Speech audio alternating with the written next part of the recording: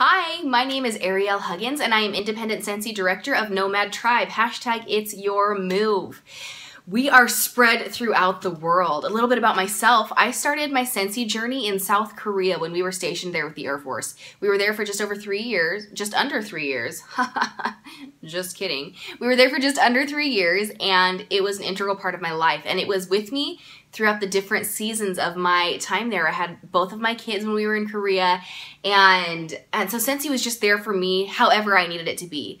Whether it was my hobby, whether it was to supplement my own wax addiction, or whether it was to actually provide supplemental income to my family. It has been there in any way that I needed it. So I am pumped that you found this join page and I really want to connect with you offline about how you can start your own Scentsy journey.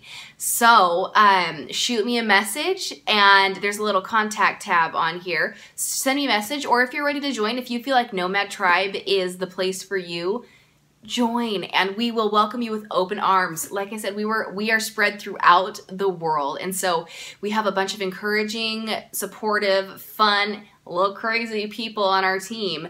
Um so i just i can't wait to help you start your scentsy journey. So let's chat and make it happen. All right guys nomad tribe it's your move